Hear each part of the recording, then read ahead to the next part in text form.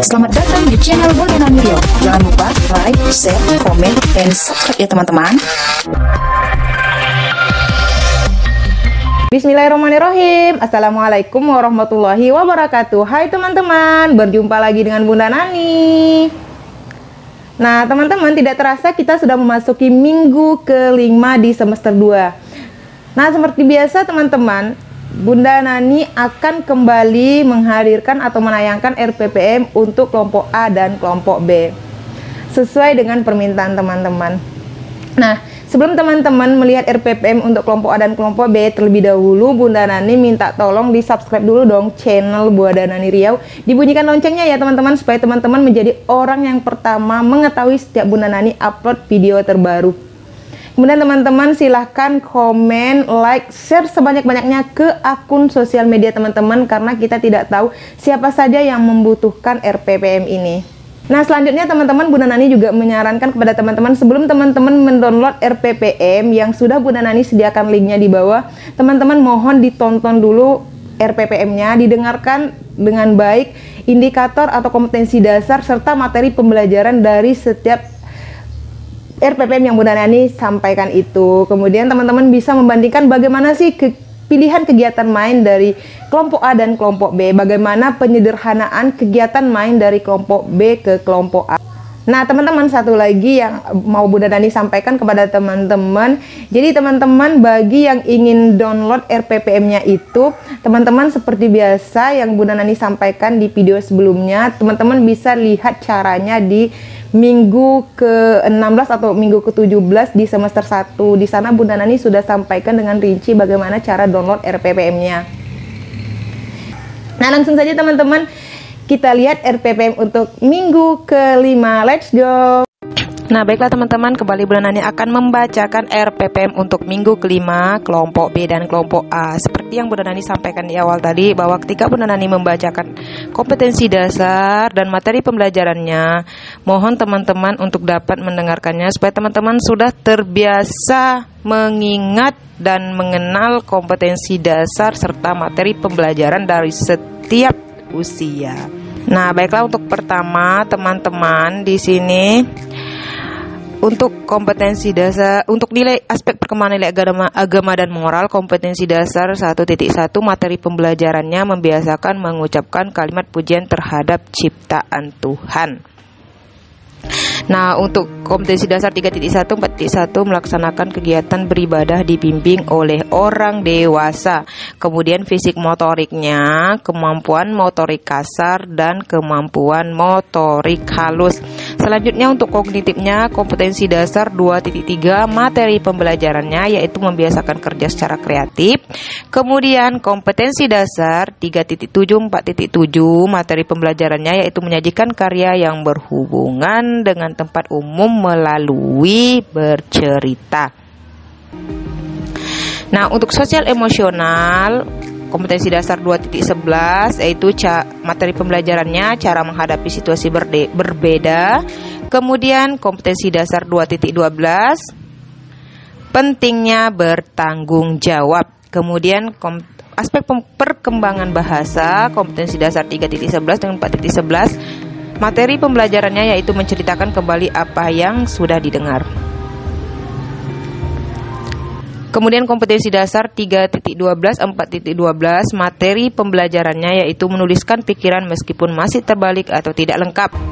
Kemudian aspek seni kompetensi dasar 3.15 4.15 materi pembelajarannya yaitu menampilkan karya tangan dan menampilkan aktivitas seni dengan seni suara.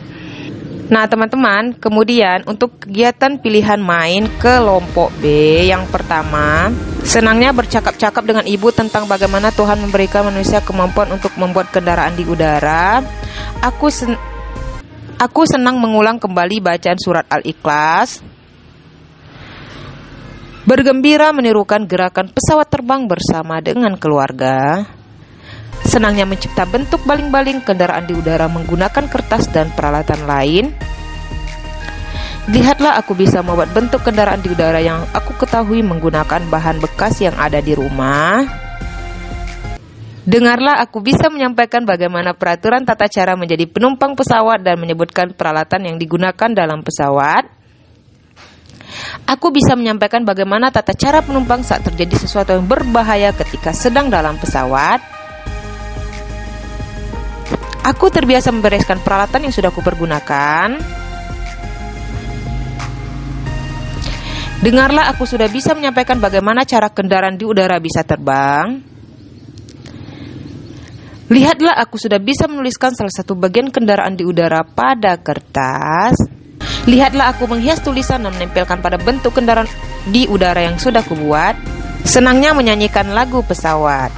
Nah, teman-teman, inilah kegiatan main serta materi pembelajaran untuk kelompok B dengan subtemanya kendaraan di udara.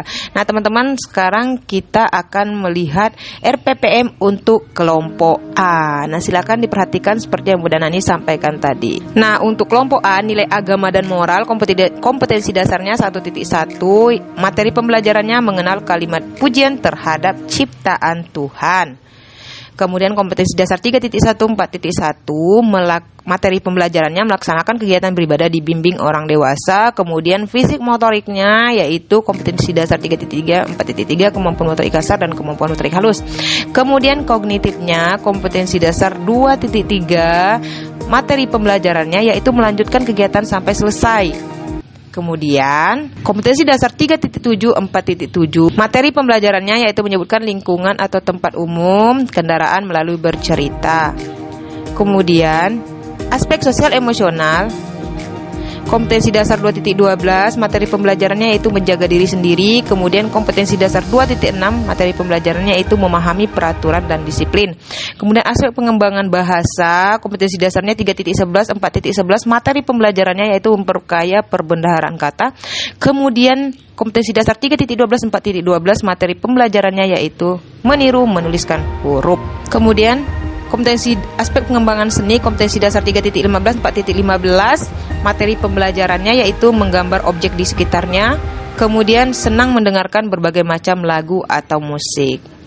Nah sekarang teman-teman silakan diperhatikan untuk pilihan kegiatan mainnya Nah, yang pertama yaitu senangnya bercakap-cakap dengan ibu tentang bagaimana Tuhan memberikan manusia kemampuan untuk membuat kendaraan di udara.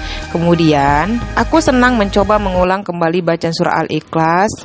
Kemudian bergembira menirukan gerakan pesawat terbang bersama dengan keluarga. Kemudian senangnya mencipta bentuk baling-baling di udara menggunakan kertas dan peralatan lain.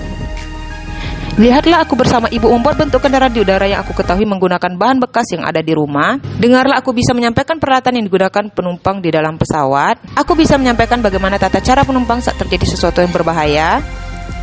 Kemudian aku terbiasa membereskan peralatan yang sudah kupergunakan.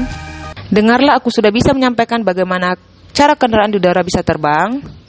Lihatlah aku sudah bisa meniru menuliskan salah satu jenis kendaraan di udara pada kertas. Lihatlah aku menghias kendaraan di udara yang sudah kubuat menggunakan krayon dan lain-lain, senangnya mendengarkan lagu pesawat bersama dengan keluarga.